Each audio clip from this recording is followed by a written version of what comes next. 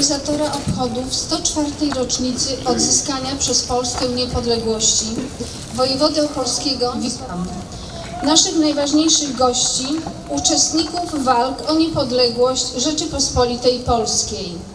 Pana Szymona Ogłazę, członka zarządu województwa opolskiego, pana Łukasza Sowadę, przewodniczącego Rady Miasta Opola, za wybitne zasługi w działalności na rzecz przemian demokratycznych w Polsce pośmiertnie Krzyżem Kawalerskim Orderu Odrodzenia Polski odznaczonym zostaje świętej pamięci pan Franciszek Kotecki. Odznaczenie odbiera córka pana Franciszka Koteckiego, pani Magdalena Andruszkiewicz.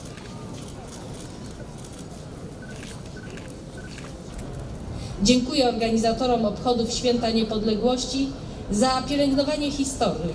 Szanowni Państwo, witam wszystkich bardzo serdecznie, tak licznie przybyłych mieszkańców województwa opolskiego na dzisiejsze świętowanie Dnia Niepodległości. Bardzo Drodzy Opolanie, kombatanci, weterani, przedstawiciele ruchów niepodległościowych i patriotycznych.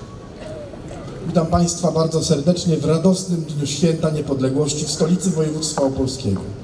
Szanowni Państwo, 11 listopada jest dniem, w którym my Polacy naprawdę mamy się z czego cieszyć.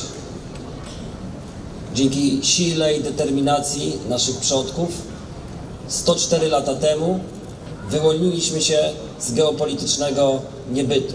Wołam współtwórców niepodległego państwa polskiego, Romana Dmowskiego, Wincentego Witosa, Wojciecha Korfantego, Ignacego Daszyńskiego i Ignacego Paderewskiego oraz generałów Józefa Halera i Józefa Dowbor-Muśnickiego. Stańcie do apelu!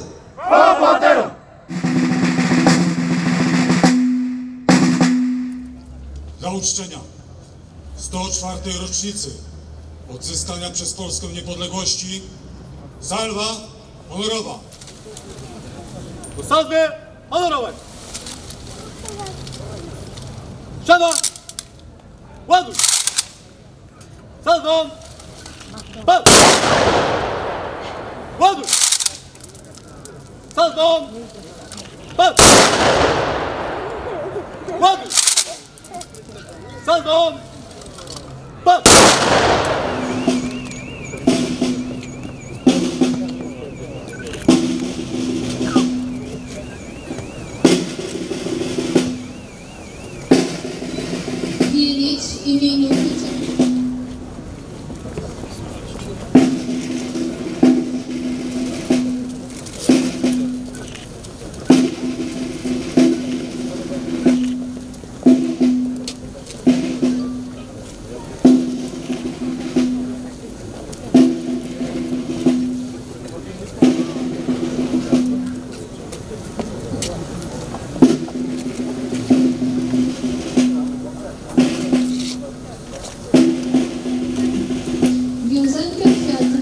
Kwiatów składa członek zarządu województwa polskiego, pan Szymon Ogłaza wraz z delegacją.